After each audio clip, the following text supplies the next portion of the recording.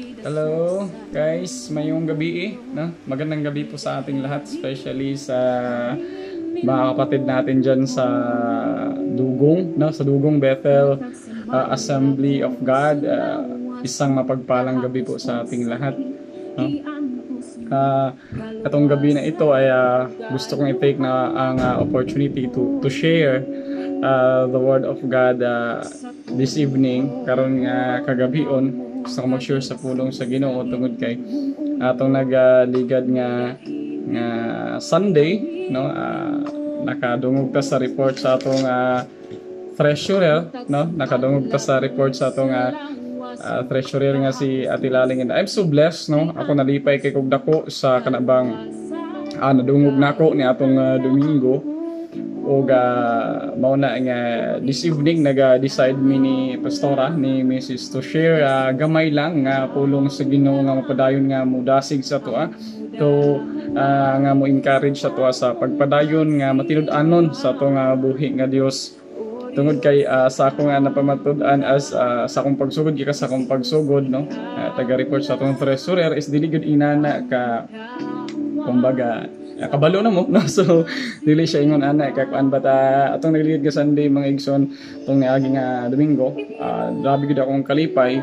Dili tungod kay uh, nagdako ang atong uh, uh, giving sa church because uh, nag-ingon gani iyan nagay pastor uh, isa ka pastor nga nag-ingon no? Nga giganahan ko siyang statement kamo niya giingon niya the joy of a pastor is not the increase of giving in the church no ang tinuod nga kalipay sa usa ka pastor dili man magbase kung magdako ang giving sa church but it is to see God's people grow in the Lord.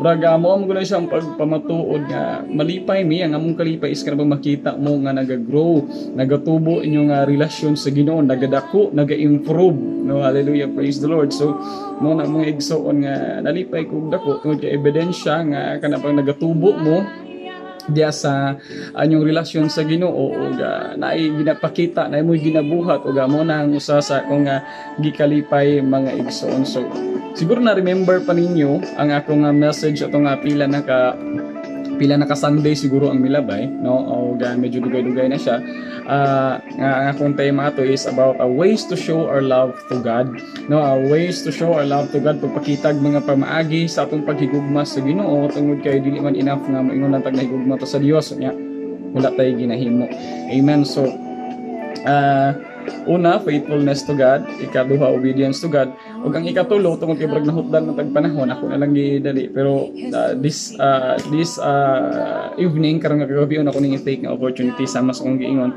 Ug uh, mo ni mga igsoon, uh, ways to show our love to the Lord. Usa ka pamaagi nga pagpakita sa tong pagtigugma sa Ginoo is uh, to show uh, pinaagi sa atong giving, no? Giving to the Lord, giving not just financially, no?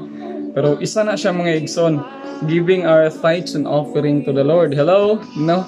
Tungod kay usa man ni siya ka importante nga kana bang bilang mga Kristiyano og mo ni ang uh, usa ka usa ka part sa inyong uh, Christian life nga nakita na kung grabe gyud yung pag-improve mga igsoon no so dako kay na ako ng kadaugan para sa kuha o ga kanunay ko nang ginaampo sa Ginoo kauban si pastora nga mo grow gyud mo as a Christian sa inyong relasyon sa Ginoo so mauni yung mga igsoon so when you say tithes and offering no magka magkaiba sila na magkaiba na na na ways nga pagpakita o paghigugman to sa Ginoo pinaagi sa financial aspect or sa uh, sa lapi sa kwarta ato mga igsoon so no when we say offering it is our kanabang kinahanglan nga gikan sa itong kasing-kasing we decide kung pila ang atong i-offer diya sa Ginoo no in 2 Corinthians chapter 9 verse 7 now in 2 Corinthians chapter 9 verse 7 the apostle Paul said God's love a cheerful giver while encouraging the believers in Corinth to give generously Paul didn't want them to give beyond their means reluctantly or under compulsion most importantly, mo ni ang challenge ni Paul sa taga Corinthians sa Corinth Church. Or niya, or under compulsion. Most importantly, he wanted them to rely on their inner Hallelujah, conviction. Kinahanglan kung muhatag ka, nag-ingon ganyan 2 Corinthians uh, 9, uh, 7, niya, magbigay ang bawat isa ayon sa ipinasya ng kanyang puso. Hallelujah. Praise the Lord. Thank you, Lord. Huwag mabigat sa loob o dahil sa kailangan sapagkat iniibig ng Diyos ang nagbibigay ng masaya. God's love, a cheerful giver. Makita, ginato dre, amen ba, Pastor? Ano? So, uh, uh, para sa imo siguro nga uh, pastor pwede pa maka-share no about ani nga text ni gi-challenge the apostle Paul sa Corinthians before know that God's love a chill forgiver. No? Based on your, kumbaga, pastora, kasi pastora do, ganang ni nga nangalagad o Ginoo na una pa sa ako. Praise the Lord. Sige. God loves a cheerful giver. Siguro, based on my experience, kana bitaw, muhatag ka nga na ay kalipay. Kung dili man lang ka malipayon sa imong paghatag. Yes. yes. Then, much better siguro nga, dili lang lang ka muhatag kay dili man na siya kahimutan sa Ginoo kung naghatag ka nya nagabagulbol lang Japon ka it's useless but thanks God kay um, if you are cheerfully um, your heart is a cheerful kung ang imuhang heart is kana bitaw masaya na nagbibigay para sa Dios actually um, wala man na nimo gihatag sa sa pastor or dira sa isa ka person but uh, ang gihatag na nimo para sa Ginoo. Amen. So, no? Una ang uh, mga igsoon ang uh, kamatura that if, if we give to the Lord, we must give. Kana ba nga naay kalipay, kinahanglan mo hatag nga naay kalipay tungod kay ang Dios sama siya ang giingon iniibig ng Dios ang nagbibigay ng masaya God's love a cheerful, uh, a cheerful giver. So, kinahanglan nga uh, ano bang uh, gaan sa atong kasing-kasing tungod kay how many times na nako ni remind sa inyo and uh, allow me to remind again nga no? Kung hatag ka sa Ginoo is not about the amount no dili na tungod sa kadako or sa kagamay sa imong gihatag nga amount it is kanabang bro ang imong kasing-kasing ang mag-decide kung unsa ang imong kanabang kalipay nga ihatag sa Ginoo that's uh, offering nga ginatawag now kung magtuto sa tithes, eh, lahi na po di siya. Amen ba, Pastor? Ano? Kung may mo isbutag tithes, kinamgang offering, it is ka na bang atong uh, kasing kaar, ang offering, uh, kusang loob na ito nga, nga ginahatag sa ginoo with a, with a cheerful heart. But kining fight, it is our obligation to the Lord. Tungod kay sa Dios na magyud siya. Kung atong tanahan mga igsoon, sa Leviticus chapter 27 verse 30, ang pulong sa Ginoo, the word of God said, Leviticus chapter 27 verse 30 and all the tithe of the land uh, again take note niya and all the tithe of the land with uh, whether of the seed of the land or of the fruit of the tree is in the Lord is the Lord. It is holy unto the Lord. Hallelujah. Praise the Lord. Ingon niya no at lahat ng ikasampung bahagi ng lupain maging sa binhi ng lupain o sa bunga ng mga punong kahoy ay sa Panginoon. Uh, ano, ang ikasampung bahagi ay sa Panginoon maging banal sa Panginoon. So, this, uh, mo ni mga igso, no, dili lang ganin, ingon siya, lahat, ang ingon niya diri lahat ng bunga, lahat ng bahagi ng lupain, or bisan pa gani ang bunga, no, sa mga kahoy, no, tinanglan, kinang i-recognize na to nga gikan gyud siya sa Ginoo o ga iya sa Ginoo ang tanan now in Ma Malakay 3:10 no uh, kaning uh, very common verse when we are talking about tithes kini man ang pinaka common nga bersikulo kini nga sa Malakay na to makita. Malakias 3 ah 3 10 sorry. Uh, Malakay 3:10 no Malakias 3 uh, 10 uh, ang pulong si Ginoo nagaingon. Akong basahon mo ni ang ingon ri Bring the whole tithe into the storehouse that there may be food in my house. Hallelujah. Ingon sa Ginoo. No test me in this says the Lord Almighty and see if I will not throw open Hallelujah. Thank you Lord the floodgates of heaven and pour out so much blessings that there will not be room enough to store it. Hallelujah, dalay ko na itong buhi nga So, what a promise, what a kanabing ay nga, ang pulong sa ginoo nga kanunay tang gina-remind. Uh, gusto ra ba sig naka-share ani nga bersikulo about ani nga Malakay uh, 3:10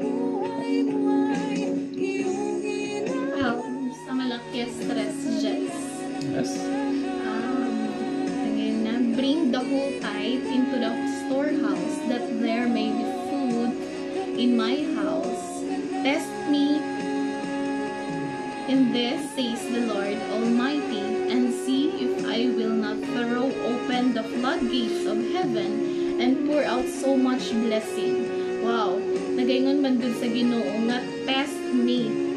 Sulayan mo ako. How, um, what if, no? What if ato ang sulayan ang Ginoo and let's see kung unsa ang himuon sa Dios sa ato ah. 'Di ba? Sa ato man God, this is um, we're naghisugot siya about sa tithes. Um, bring the whole tithe. No? Yes. Syempre, um, kung siguro um, sometimes man good sa ato ah, kung gamay pa halimbawa na kay kita na 1,000 in the whole day. So magkano yung ibibigay mo para sa Panginoon? Mm-mm. 'di ba? It's uh, um parang 10 um 100. So parang yung sa isip mo ay gamay lang man siya, 'di ba? So 'di ba nag-ingon sa pulong nga it, um wala siya nag-account kung pila man or gaano kalaki ang imuhang ihatag sa Ginoo. Yes. But you have the obligation nga iba ihatag jud ang 10% para sa Ginoo. And uh, nag-ingon siya nga um um kani man good is murag ah, murag murag sugo sa Ginoo that there will be a food um unsta that there may be um that there may be food in the house of the Lord. Kani man good na food siguro ang iyang ginaingon is all about kanang sa um sa sa iyahang gisugo no? Mga pastors or kinsa man um kana siya. And uh, um let's see kakang akong giingon ganina let's see let's let, let's test the Lord kung unsa man ang iyahang um um ihatag sa ato Okay, no? So, thank you kayo, uh, Pastora, sa imong uh, pag-share sa uh, imong uh, kaalam or wisdom nga gi-share sa mga karon nga kagabion.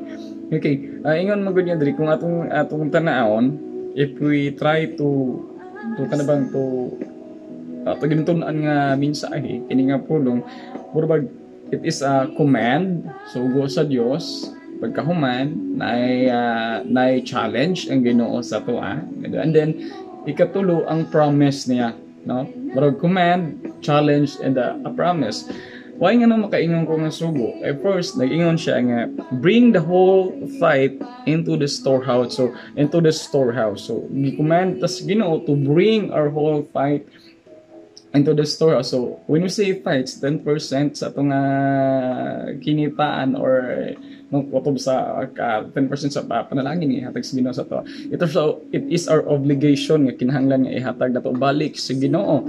No ang ikapulo tungod kay ang ikapulo dili sa ato uh, iya sa Ginoo.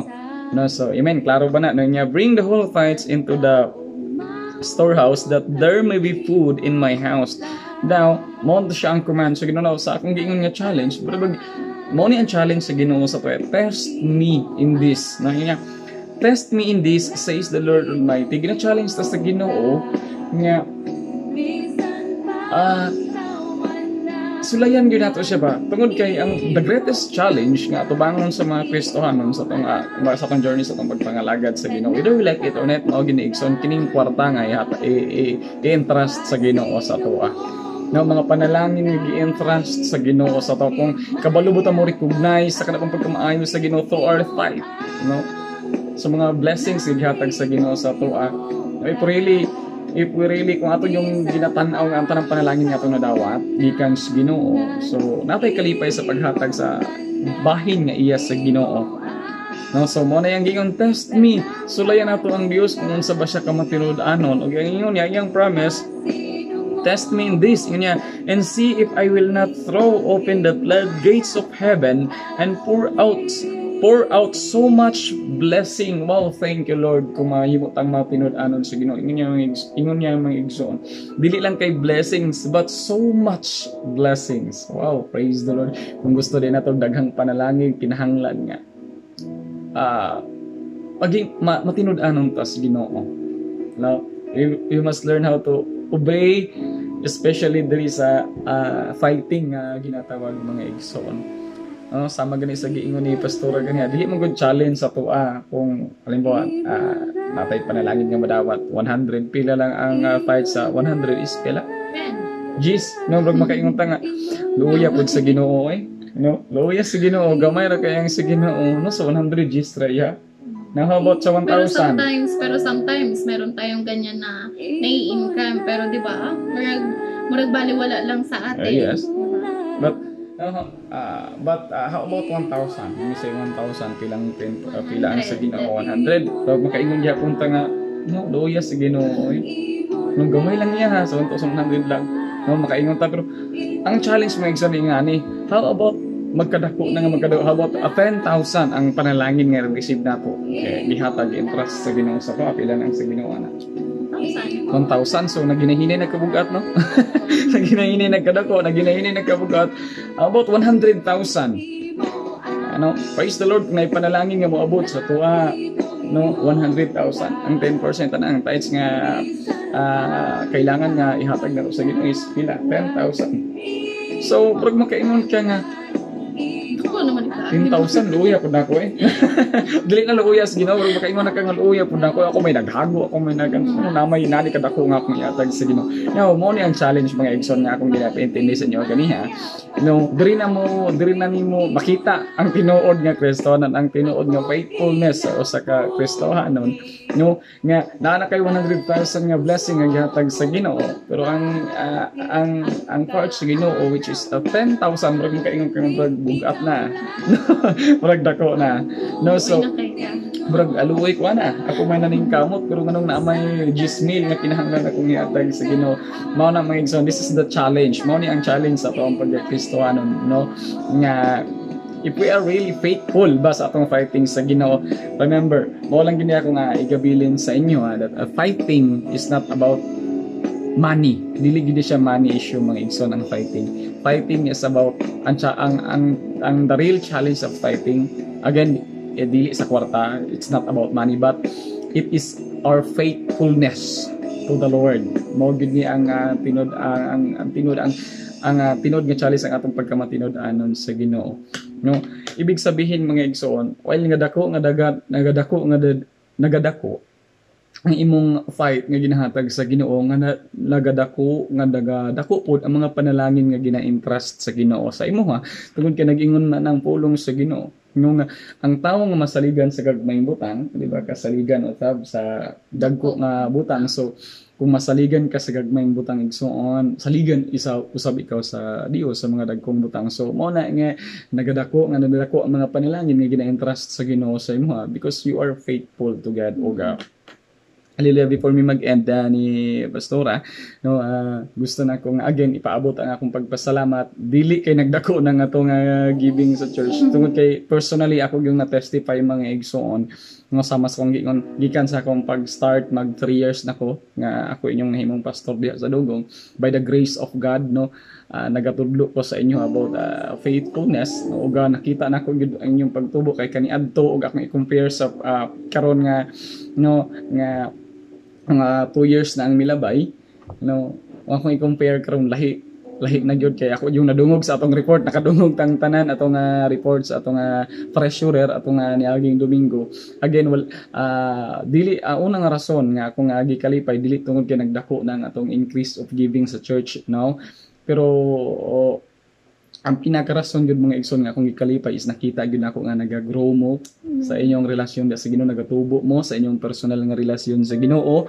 O by the grace of God I hope and pray ako yung mga pagampo na padayon mong ligunon sa Ginoo padayon pang increase ang, ah, ang inyong pagtuo sa Ginoo. Tungod ako yung nakita especially atong nga atong nga milabay nga mga binulan nga ano by, by the grace of God nagapaningkamot gyud ang atong mga kaigsuonan sa dugong nga mahimong ma- matinud-anon sa Dios no? So ako kay na mo lang kalipay ni pastora bilang partner partner tanan niyo sa ministry nga gi-interest sa Ginoo thank you kaayo mga igsoon especially no din ako ah, malipatan pagpasalamat ang atong mga kaigsuonan sa abroad no? Thank you kayo Ati Tess kay Ati Esther ug kay Milot. Daghan kayong salamat no? Ah, ah, thank you kayo nga nahimo mong panalangin sa sa church. Nahimo mong katimbang namo sa simbahan ug ah, ah, keep safe. Amping mo dia kay kanunay ug ah, naami kanunay nagpaluyo ba ni pastora sa mga pag-ampo nga kanunay mong tipigan sa Ginoo tungod kay panalangin gid mo no, sa atong ah, church. Ug daghan kayong salamat no Ah, God ang Dios magadugang pa nga magabubo sa panalangin ah, sa inyong kinabuhi ug ah, sa tanan nga kaigsuonan namo sa dugong uh, Bethel Assembly of God. Daghan kayong salamat no. Ah, nasayod mo kung kinsa mo dili na ta mo maisa-isa tungod kay daghan na kay mo na. Dili mo isa-isa but thank you for your faithfulness ah, pagpakita sa inyong paghigugma sa Ginoo through our giving to our financial giving Ah, so pastor ako sa inyo pagkay before ta mag-end basta na pagkay ah, idugang ah, challenge sa atong mga ah, family sa dugong Um, siguro... or mga pagpasalamat. So, pila na ganito ka tuwing sila. Um, I think it's one year. Siguro, oh, one year. Almost one one year. Almost one year. Wow, sige. Um, katong first na pagganto na ako, dako kayo ang kalahian from the start until now. Tawag tong Ginoo ni Pastor nga ang ato ang faith bitaw kay God is murag naghinay-hinay siya og nag naghinay-hinay siya nga nag-elevate murag nagtaas ang ato ang um, pagtubo sa ato ang faith diha sa Ginoo. So keep on fighting, keep on um, um, praying to the Lord na kanabitaw um, ang ato ang faith is ipag-grow pa jud sa Ginoo. Kay karon karon nga adlaw dili na ta dili na kanang dili na ta mo backslide, dili na ta mo ad, mo mo backward kundi mo move forward lang din ta. Daghan kay mga pagsulay in this world Mm. But uh, I know and I believe na may dali na nag-aampo sa inyo kanina. So, let us always keep safe and God bless sa tanan. Okay? Ah, daghan kayong salamat ah, mga igsoon sa mubo ang panahon nga inyong gispend. Okay, magampo ta. Kani mo Dios nga labing dalay ko gaman Lord, thank you kay Ginoo ni nga mubo nga panahon nga imong gihatag kanamo nga nakahimo kami pagpamalandong sa imong pulong. Thank you Lord. Hallelujah. Ang akong mga pag-ampo o Dios, padayon ka nga maga bubo sa imong pinasahig nga panalangin sa akong mga kaigsuunan, especially sa imong pamilya sa Dugong Bethel Assembly God. Thank you Lord nga ilang pagtuo, ilang paghigugma, o ang ilang relasyon diha kanimo nagatubo Lord from glory to glory Ginoo sa ilang matag sa kinabuhi Lord ang mga pagampo nga padayon ka Ginoo nga magatiman kanila padayon ka nga magatibig sa ilang ah, magatipig sa ilang kinabuhi kusog ug mayong lawas Ginoo nga ilang magamit adlaw-adlaw sa ilaha mga trabaho. Bisan pa man sa among mga kaigsunan nga nasa abroad nasa gawas Ginoo kay Ati Marites kay Ati Esther ug kay Milot. Ah, ano ko mga pagampo Dios nga inyo mo silang ah, titigan kanunay. Ilayo sa bisan unsang buhat sa kaaway. Proteksyonan tagag mayong lawas Ginoo nga ila magamit sila nga adlaw-adlaw nga bluton thank you Lord. Uh, this evening Ginoo dako kayong opportunity amo nga imong gihatag kanamo karong kagabion nga naghimo kami pagtuon sa imong pulong and Lord help us Ginoo tabangi kami from glory to glory. Ah, Lord maga ma-maintain ang among faithfulness faithfulness diha kanimo sa dilaygon ka ug mga pag-ampo sa pangalan ni Ginoong Hesus amen ug ah, amen. God bless. Maayong gabi sa atong tanan. God bless everyone